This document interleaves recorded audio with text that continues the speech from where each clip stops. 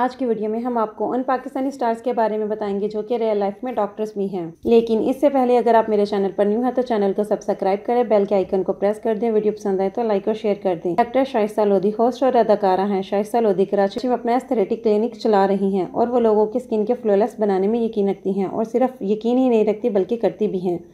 नादिया हुसैन। नादिया हुसैन ना सिर्फ़ एक मॉडल और अदाकारा हैं, बल्कि वो रियल लाइफ में एक डेंटिस्ट भी हैं, जो जना डेंटल कॉलेज से ग्रेजुएट हुई हैं। Fahid Mirza.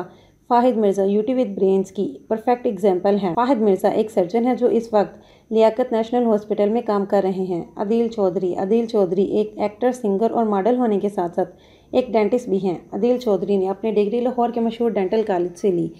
Amna Sheikh New York city में पैदा हुई। आमना शेख एक मॉडल और अदाकारा होने के साथ साथ फार्मासिस्ट भी हैं। मुनज़ा इब्राहिम मुनज़ एक्टर होने के साथ साथ फिजिशियन भी हैं और अपनी क्लास की सबसे जहीन स्टूडेंट हुआ करती थी। मुनज़ा अफ्रीका में पैदा हुई और इनके वालदा ढाका से हैं। आयशा गुल। आयशा गुल एक मशहूर अदाकारा होने के साथ साथ एक एमबीबीएस डॉक्टर भी हैं। उन्होंने अपनी degree Gilgit state medical academy Gilgistan से ली।